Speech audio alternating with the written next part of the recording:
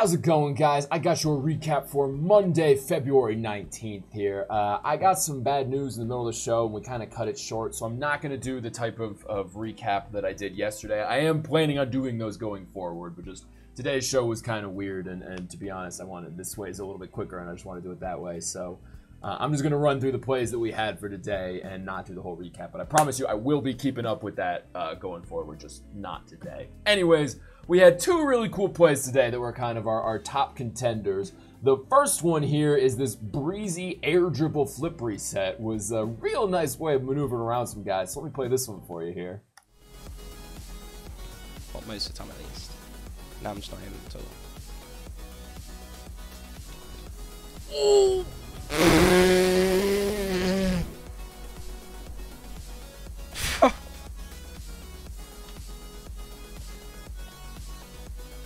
Where did that come from?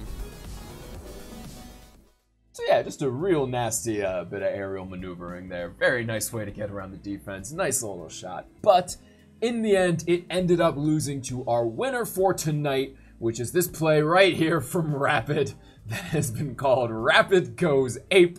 I'm just gonna play this one for you, but just uh, you know, try to find Rapid as early as possible in the clip and keep an eye on him because where he comes from for this shot is just insane. So here is our winner for today. Rapid Goes Ape.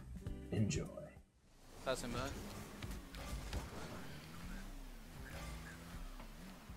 There. Shit. Oh my Nice. fucking god. Yo, rap is wild, bro. This man. He's a Look monkey. where it came from. I'm such a No, retard. no, no racist, no racism, bro. That man's a monkey, bro. There's no way, bro. what is he doing up there, bro? I'm- mean, just like, how do you come? f- It's just absolutely absurd where he comes from on that one. So, congratulations, Rapid. You are our winner for today. Then, taking a look at the schedule for Tuesday the 19th, we got all kinds of things going on. So, uh, first up, there's Holdy Moldy. He's been running qualifiers for a 150 euro tournament that's going to go down this weekend. The last one is today. It's going to be at 7 p.m. GMT. Then Rewind has the first of their trials, uh, $75 tournaments that are going to be happening today, Thursday, and then next Tuesday. So the first one is at 7 p.m. Uh, CET, 6 p.m. GMT tonight. Then NSC has league play for their uh, college, you know, National Student Esports League.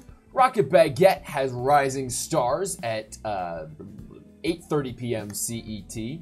Indie Gaming League has winners circuit matches at 7 EST. Absolute Leverage with a $40 2v2 at 8.